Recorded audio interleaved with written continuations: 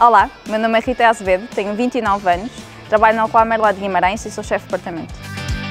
O meu percurso na Alcoa Merlá começou em 2015. Uh, Candidatei-me para o programa de trainees quando vi uma vaga disponível no LinkedIn. Lembro de ter recebido a chamada e terem dito assim, Rita, para tal feedback, sabes qual é que é? Eu disse sim, sei que vou entrar. E aquela sensação é a melhor sensação do mundo, é sentirmos que fazemos parte desta casa e que somos parte desta, desta empresa que nos diz mesmo muito.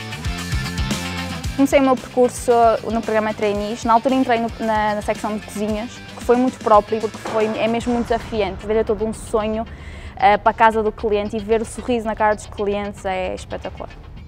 Em 2015 fui abraçar o projeto uh, de Braga, da abertura da loja de Braga.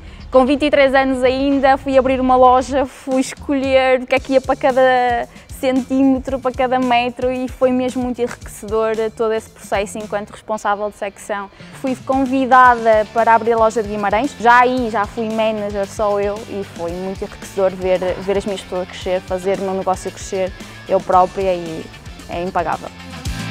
Aquilo que eu mais gosto nesta empresa é a parte humana, nós preocupamos muito com o processo das nossas pessoas, com o desenvolvimento das nossas pessoas. A outra parte é a experiência cliente. Nós temos um foco tão grande na cultura que nós chamamos de cultura de sim, de satisfação do nosso cliente, que é espetacular ver aquele brilhozinho nos olhos quando estamos a ajudar um cliente.